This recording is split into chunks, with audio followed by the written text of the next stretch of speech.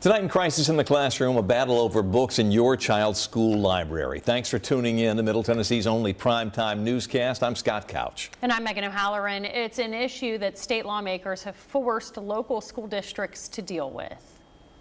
I think that we need to scrutinize what our children are learning.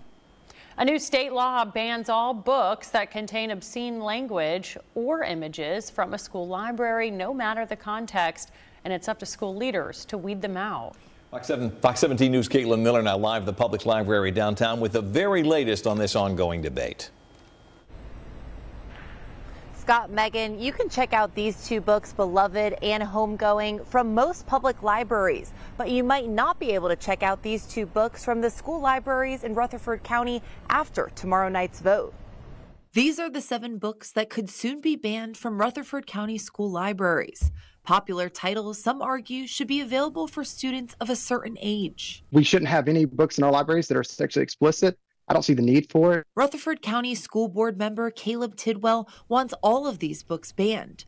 One of them, Beloved, is about a woman who recalls her life as a slave. Tidwell points out the book contains sexual activity, violence, and racial commentary, among other things. One passage reads, quote, The new girl they dreamed of at night and cows for at dawn while waiting for her to choose. It was over before they could get their clothes off. Anything inappropriate that, that a young child's eyes, in our opinion, should not see so should never be put on a shelf.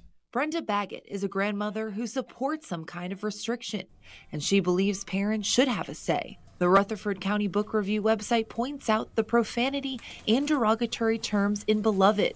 But some feel banning these books reduces the quality of education and sense of history. Uh, we have plenty of books that cover a large range of topics, including a lot of the topics that are addressed in most of these books. Uh, so that won't be missing either. Uh, and also, I think that there are some uh, effects to exposing children to sexually explicit material uh, below a certain age. But where do you draw the line? That's the question school leaders will have to answer. Now, the Rutherford County School Board will vote on these two books along with the other five at tomorrow night's meeting. They will allow public comment at the beginning of the meeting, followed by the vote. Reporting live from downtown, I'm Caitlin Miller, Fox 17 News, your Code Red station.